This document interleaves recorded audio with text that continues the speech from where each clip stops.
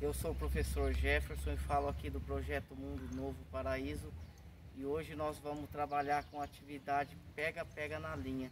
É uma atividade muito simples e que demanda da, do aluno, do estudante, um esforço, um empenho muito grande. Então é preciso fazer certinho.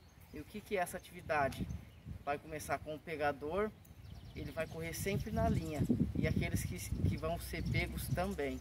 Então vamos todo mundo participar que vai ser uma atividade muito legal.